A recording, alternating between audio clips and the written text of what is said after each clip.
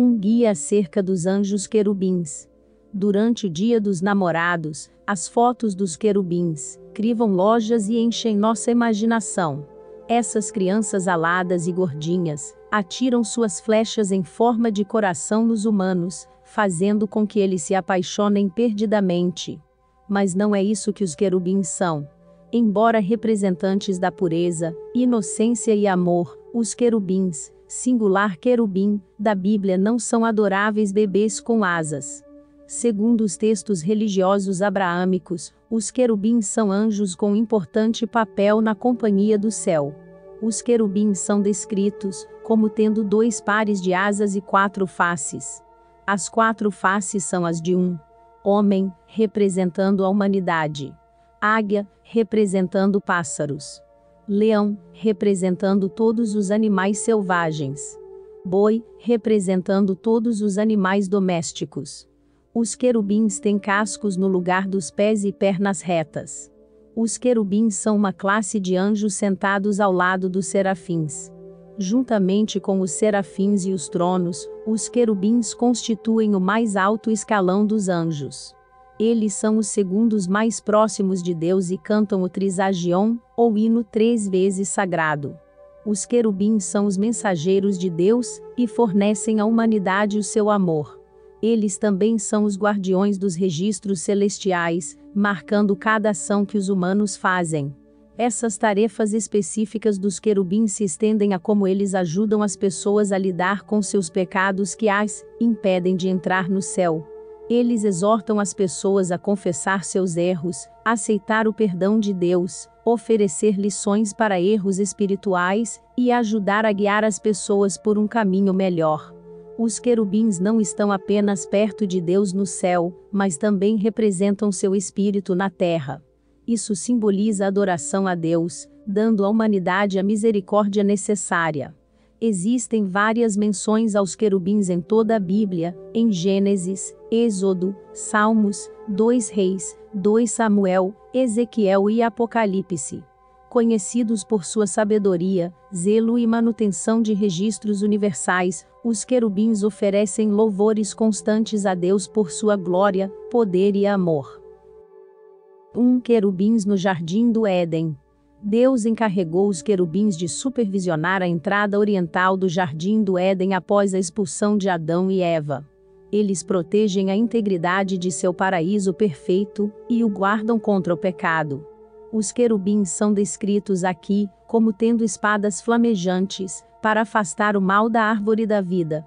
Dois sagrados motoristas e vigilantes. Os querubins garantem que Deus receba a honra que ele merece, e agem como pessoal de segurança, para impedir que a impiedade entre no reino. Esses anjos entronizam Deus entre eles, e agem como transporte, quando ele desce de seu trono, sendo o veículo sob seus pés. Os querubins são a força de propulsão das rodas da carruagem celestial de Deus. Três descrições ardentes. Os querubins também aparecem como brasas de fogo que queimam como tochas, com a luz brilhando para cima e para baixo em seus corpos. Esta imagem acompanha uma chama brilhante que emana deles. Eles se movem e desaparecem como uma iluminação bruxuleante. Esses anjos nunca mudam de direção durante o voo, e sempre se movem em linha reta, seja para cima ou para frente. Querubins versus serafins. A principal diferença entre esses dois tipos de anjos é sua aparência, pois os querubins têm quatro faces e quatro asas, enquanto os serafins têm seis asas, e às vezes são descritos como tendo um corpo semelhante a uma serpente. Os querubins são mencionados muitas vezes na Bíblia, enquanto os serafins são mencionados apenas no livro de Isaías. Existe algum debate entre os estudiosos sobre que tipo de criaturas são mencionadas no livro da Revelação.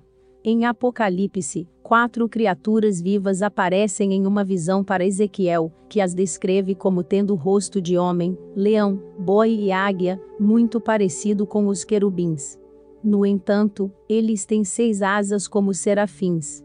Isso continua sendo um tópico de debate, pois ninguém sabe exatamente a que tipo de seres está sendo referido aí. Querubins e os arcanjos. Existem muitas referências que inferem que os querubins trabalham e estão sob a tutela dos arcanjos. Mas isso parece se relacionar com a manutenção de registros celestes. Nada do que os humanos fazem passa despercebido. Os querubins lamentam quando registram as más ações, mas se alegram quando marcam as boas.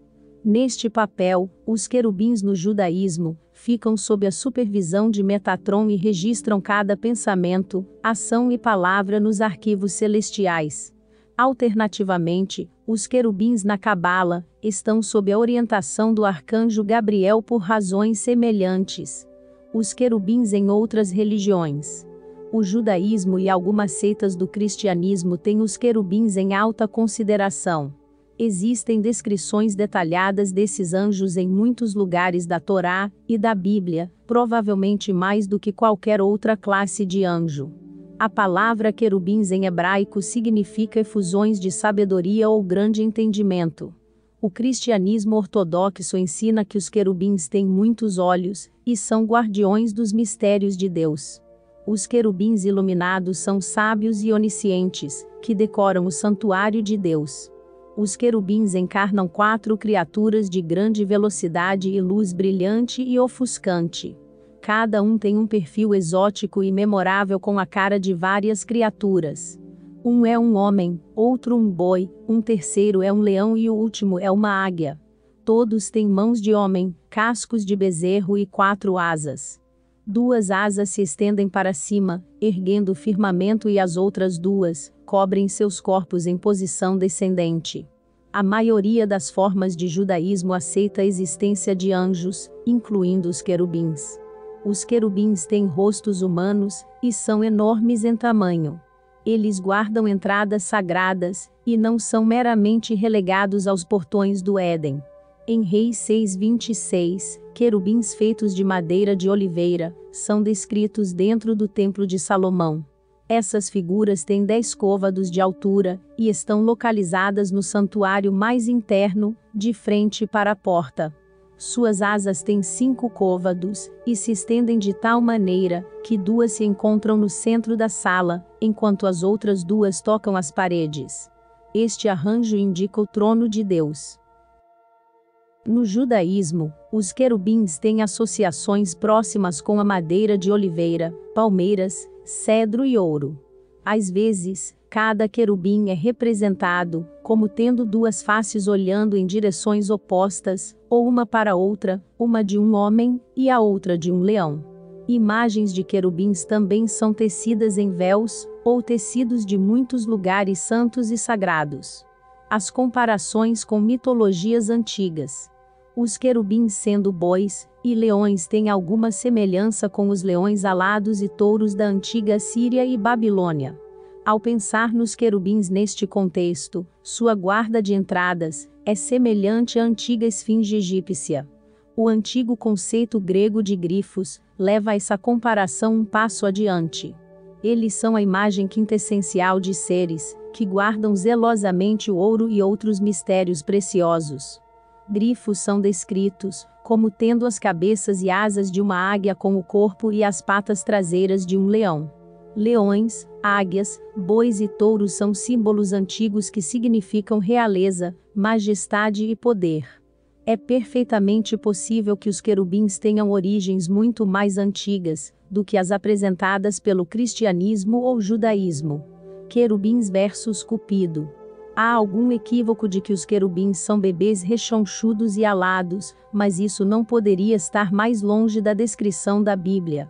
Essa ideia que a maioria das pessoas tem sobre os querubins vem de representações do deus romano Cupido, o equivalente grego a Eros, que poderia fazer com que as pessoas se apaixonassem por suas flechas. Durante o Renascimento, os artistas começaram a procurar diferentes formas de representar o amor em suas pinturas, e uma dessas representações foi o Cupido, que eles representavam não como um adulto, mas como um bebê com asas. Outra fonte provável para o equívoco sobre a aparência dos querubins pode ser o Talmud judaico, onde eles são descritos como tendo a aparência de jovens. No entanto, de acordo com outro livro talmúdico, o Midrash, eles aparecem como homens, mulheres ou seres angélicos, e não como crianças.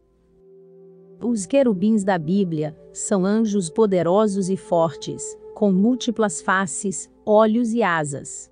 Eles desempenham um papel importante no reino do céu e têm o poder de desafiar os humanos.